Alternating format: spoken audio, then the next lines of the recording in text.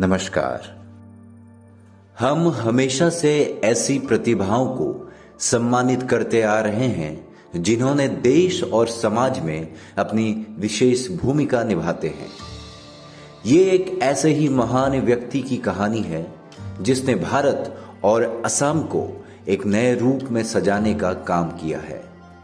उस जाने माने व्यक्ति का नाम है रूप कुंवर ज्योति प्रसाद अग्रवाल। सबसे पहले तो हम इस महान व्यक्ति को नमन करते हैं। 18वीं शताब्दी में राजस्थान के जयपुर रियासत में केढ़ नामक छोटा सा गाँव था, जहाँ से ज्योति प्रसाद अग्रवाल के पूर्वज व्यापार करने के लिए निकले और 1827-28 के बीच ये कलकत्ता, मुर्शिदाबाद, बंगाल होते हुए असम में विश्वनाथ चारियाली नामक स्थान पर पहुँचे और फिर बाद में वहीं बस गए। यहीं से ही आरंभ होती है इस असमिया साहित्यकार रूप कुंवर ज्योति प्रसाद अग्रवाल की कहानी। सन 1903 में असम के डिब्रूगढ़ ज़िले में स्थित तामुलबारी नामक चाय के बागान में ज्योति प्रसाद जी का जन्म हुआ था। ज्योति प्रसाद जी अपने भाई बहनों में सबसे बड़े होने के कारण बचपन से ही परिवार में सबसे प्रिय थे। उनके दादा हरिविलास अग्रवाल ने ही उनका नाम ज्योति प्रसाद रखा था। हरिविलास जी धर्मपरायण वैष्णव थे, क्योंकि उनके पिता नवरग्राम असम के वैष्णव भक्ति संत शंकरदेव के नाम धर्म में दीक्षित होने वाले मारवाड़ी थे। इसीलिए हरिविलास ने शंकरदेव और माधवदेव की साहित्यिक कृतियों को प्रकाशित करके साहित्य और कला के प्रति परिवार के लगाव को आगे बढ़ाया। ज्योति प्रसाद की माता किरणमोई अग्रवाल असम के प्रतिष्ठित परिवार काकती वंश की बेटी थी। वो खुद अपने समय की एक जानी मानी गायिका थी और उनके पिता संस्कृति प्रेमी परमानंद अग्रवाल प्रसिद्ध बेहला वादक थे, जिन्होंने अपने पुत्र को संस्कृतिवान होने की शिक्षा बचपन से ही दी। शायद इसके कारण ही ज्योति प्रसाद जी ने बचपन से ही अपने परिवार का मान बढ़ाया। मात्र चौदह वर्ष की उम्र में ही शोणित कुंवरी नाटक की रचना कर उन्होंने अपने माता पिता के सम्मान के साथ साथ असमिया साहित्य को भी समृद्ध किया। डिब्रूगढ़ में प्राथमिक शिक्षा प्राप्त करने के बाद उन्होंने तेजपुर गवर्नमेंट स्कूल में दाखिला लिया, जहाँ उन्होंने दसवीं तक पढ़ाई की। कुछ साल बाद ज्योति प्रसाद जी ने माता किरणमोई अग्रवाल और पिता परमानंद अग्रवाल से आशीर्वाद लेकर उच्च शिक्षा के लिए परिवार से दूर चले गए। ज्योति प्रसाद जी ने वर्ष 1921 में कलकत्ता से मैट्रिक की परीक्षा उत्तीर्ण की। उसी दौरान भारत में असहयोग आंदोलन प्रारंभ हो चुका था।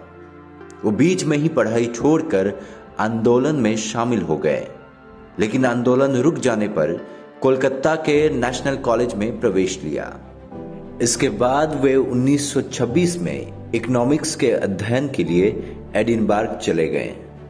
एडिनबार्ग में शिक्षा पूरी करने के बाद ज्योति प्रसाद अग्रवाल कुछ समय के लिए जर्मनी चले गए, जहाँ उनका संपर्क हिमांशु राय से हुआ। राय से ही उन्हें चलचित्र निर्माण की कला सीखने का अवसर मिला। फिर वहाँ से अपनी शिक्षा पूरी कर, वो 1930 में स्वदेश लौट आए। 1930 में भारत आते ही ज्योति प्रसाद फिर असहयोग आंदोलन में शामिल हो गए। साल 1931 में जिस समय असमिया वीरांगना कनकलता केवल सात वर्ष की थी, उसी समय असम के तेजपुर ज़िले के गमेरी गाँव में एक सभा का आयोजन किया गया था। उस सभा के अध्यक्ष प्रसिद्ध नेता ज्योति प्रसाद अग्रवाल थे।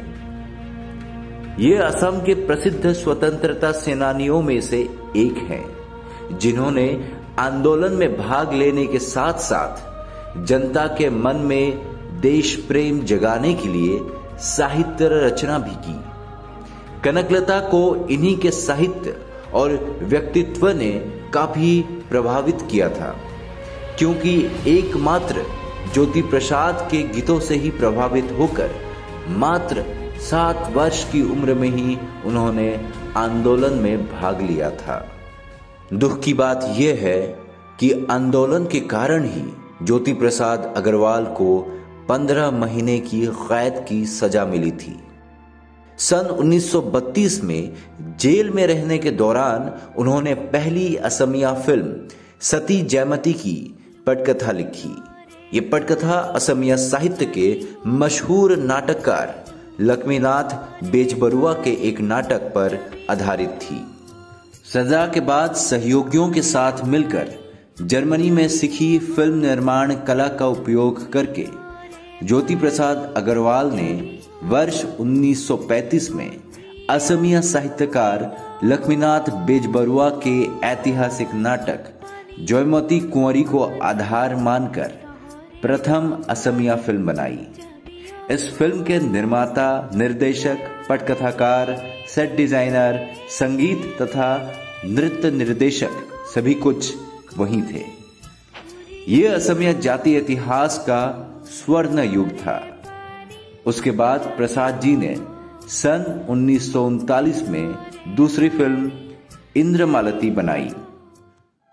सन 1936 में ज्योति प्रसाद जी देवजानी भूया के साथ विवाह बंधन में बंध गए। देश प्रेम, समाज की समस्याएँ आदि विषय को लेकर उन्होंने साहित्य रचना की थी। अच्छी बात यह है कि ज्योति प्रसाद अग्रवाल की संपूर्ण रचनाएँ असम की सरकारी प्रकाशन संस्था ने चार खंडों में प्रकाशित की थी।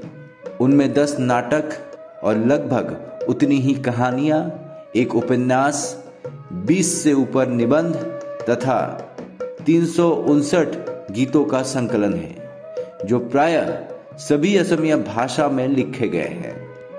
उनके तीन चार गीत हिंदी में भी हैं।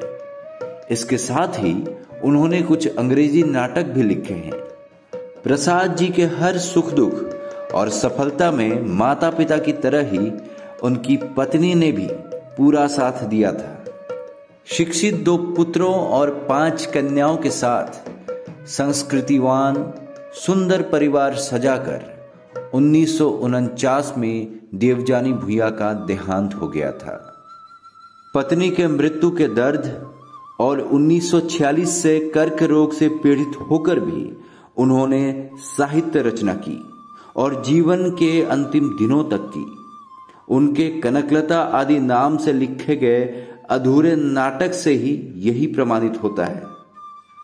ज्योति प्रसाद जी नाटक, गीत, कविता, जीवनी, बाल कविता चित्र नाट्य कहानी, उपन्यास निबंध आदि के माध्यम से असमिया भाषा साहित्य और संस्कृति में अतुलनीय योगदान देकर अमर हो गए। साथ ही असमिया समाज को भी अमर कर गए और असमिया साहित्य में एक युग का सूत्रपात किया। धन्यवाद।